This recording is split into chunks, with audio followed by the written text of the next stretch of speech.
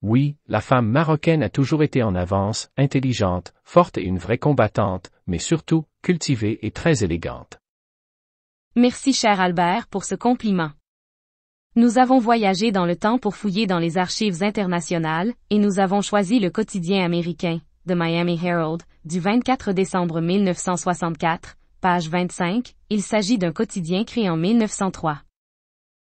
Le journaliste nous fait découvrir les coulisses de la réception organisée dans le siège des Nations Unies, à New York, en la présence de Madame Kennedy et Madame Halima Warzazi, la représentante du Royaume du Maroc, vêtue en somptueux caftan.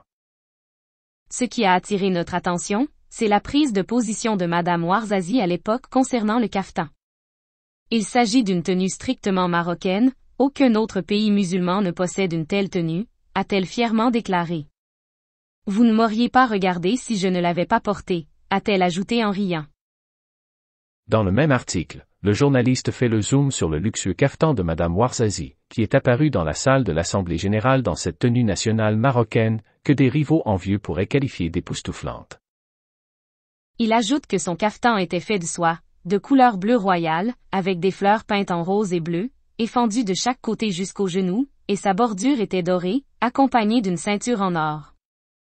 Je me permets de vous rappeler qu'on parle de l'année 1964. Qu'est-ce que vous en pensez?